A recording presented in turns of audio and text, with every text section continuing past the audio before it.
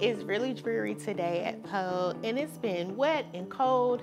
And so outside we're not really doing too much in the garden, but inside we are starting seeds for the spring season. And seeds aren't just good for planting, they're also really great for eating. So join me after in the kitchen. We're gonna make a seeded cracker and put together a snack board for you to enjoy with your family.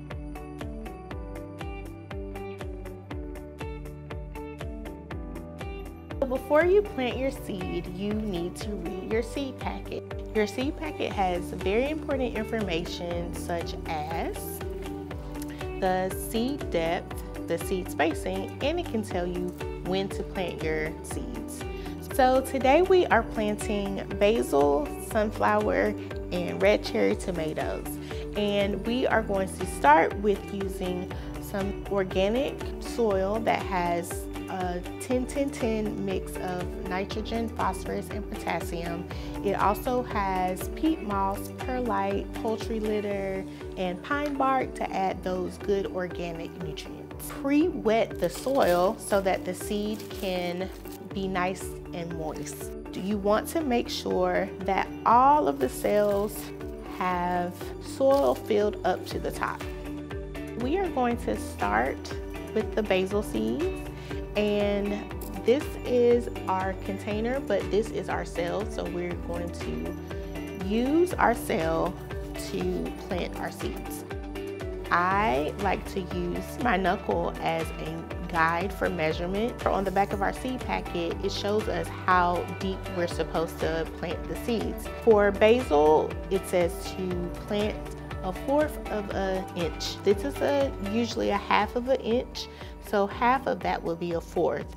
And so I'm going to use my pinky as a guide and make holes that are a fourth of an inch deep. So typically we put two to three seeds per cell. So two seeds and I'm going to drop them in. Remember to look at your seed packet for planting depth. Some seeds have different planting depths, so it's really important that you plant your seed according to the seed packet. Also, remember to cover your seeds once planted and make sure to label your seeds and seedlings to make sure you don't mix them up with each other. Here at the Poe Center, we use a grow light station, but at home, you can put your seedlings in a well-lit or sunny area. Once you found a sunny spot for your seedlings, make sure you water them daily. Your baby seedlings need plenty of water and extra love so that they can grow up strong. Once your seedlings have sprouted, you may want to thin out your seedlings. Make sure to look at the biggest one, the biggest seedling that you see in the cell. Once you have identified the biggest one, you can gently remove the other seedlings.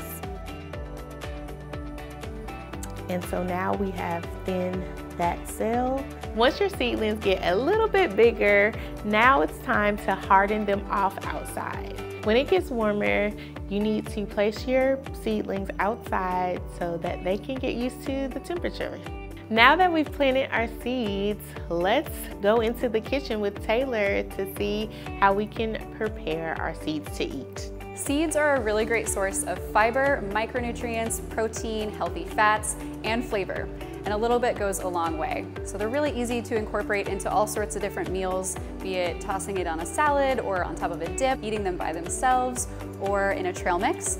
Today we're going to add seeds into a cracker and make a seeded cracker that we'll then put onto a snack board. So we need a mixing bowl and we're gonna add in our dry ingredients first. So here we have a half cup of whole wheat flour and one cup of all-purpose flour into the bowl. We have one teaspoon of salt. We have one teaspoon of sugar. And then we have our seeds. So today we planted some sunflower seeds, so we're also gonna add those into our cracker. And I have about three tablespoons, and so that's gonna go straight in. And this is totally optional, but for some extra flavor, I like to add everything but the bagel seasoning. You could add any sort of nuts or seeds you liked here or any other spices. This just gives it a little bit of extra flavor. So I'm gonna add about one tablespoon of those seeds straight into the bowl. And then you're just going to want to combine all of the dry ingredients We'll need a rubber spatula later in the recipe, so I think this is a really good tool, but you can mix it with anything you have, and you want it to be fully combined. Now you want to add your wet ingredients, so we're going to do a half cup water and two tablespoons of olive oil. And that's it. So once you have everything in there, you're going to just combine it it might take a minute or so to stir this all together. You want it to be totally combined. Make sure you check the bottom of the bowl for any excess flour. Sometimes it likes to get kind of stuck at the bottom. This is also a really great recipe if you have kids. It's super simple to help with. And if you wanted to make this recipe gluten-free, you could do that. You might find that you need to add a little bit extra gluten-free flour. Once your dough is completely combined, it will look like this. And if you were to pinch some off, it's sort of the consistency of a Play-Doh.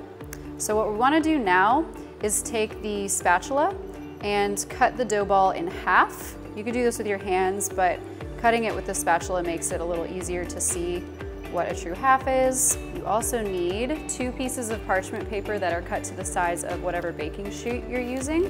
So I'm gonna lay one of those sheets down and take half of that dough ball and you can kind of pre-mold this a little bit with your hands into a bit of the shape of a rectangle and put that right in the center and then you'll take your other sheet of parchment and just lay that on the top.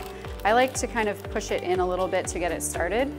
And then all you're going to need to do is roll out the dough to the edge of your sheet. You want the thickness of this to be about an eighth of an inch.